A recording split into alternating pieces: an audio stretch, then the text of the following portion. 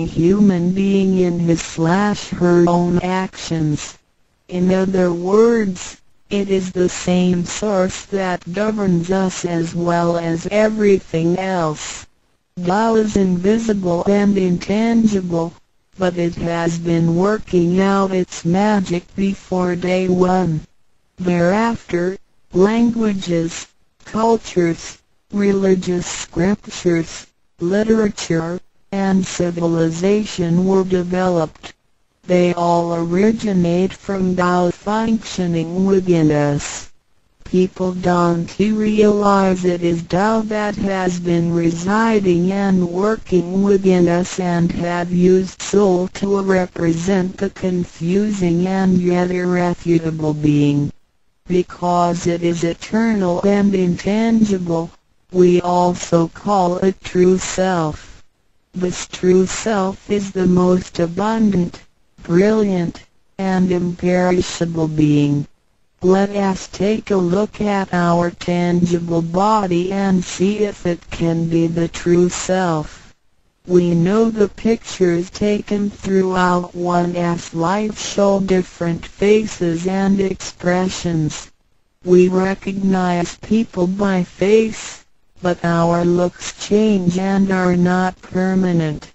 The handicapped, with impaired arms or legs, can also lead a complete life.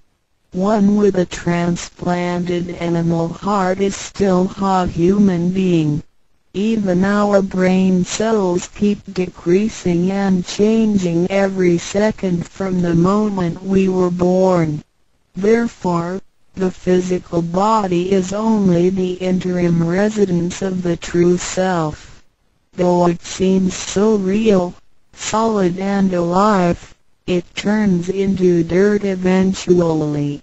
We call it false self because of its tentative and transient nature.